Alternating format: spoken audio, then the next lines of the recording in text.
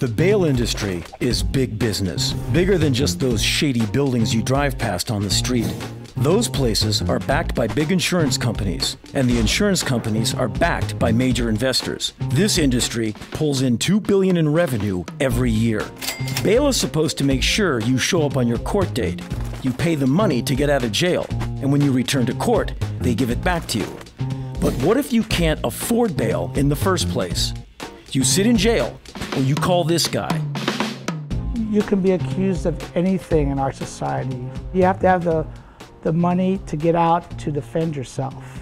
But the wealthy person, he can be bailed out right away. He has a financial wherewithal to get out. And if you don't have the money, you will come to us. What's wrong, baby? I'm in trouble with the law. Don't you worry about a thing. Mama's gonna call Bad Boys Bail Bonds. They'll know what to do. When we bail you out, we're providing you a service and we want to get paid on it. Because your mama wants you home.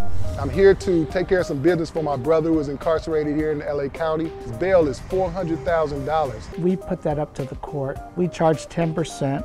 That is non-refundable. That's our fee. Even at 10% of that, that's $40,000. Who has that laying around?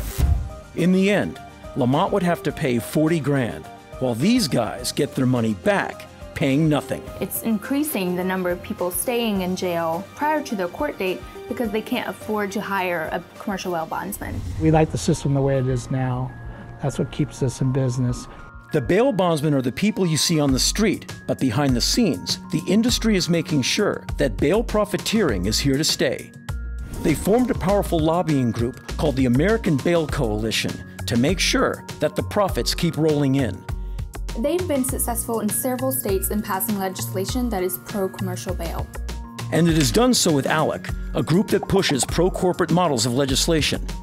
In 2011, they drafted 12 model bills fortifying the commercial bail industry, and through ALEC, we're able to promote those bills to uh, state governors and legislators. I'm not so crazy as not to know that you've already figured out that if I can talk you into doing this bill, my clients are going to make some money on the bond premiums.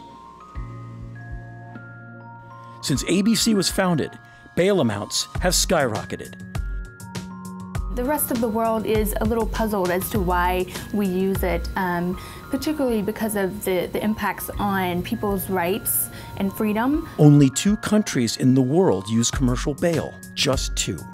We don't want no regulations, keep the laws the same, don't want anything changed basically, and that's just the truth. We don't want no changes in the bail industry.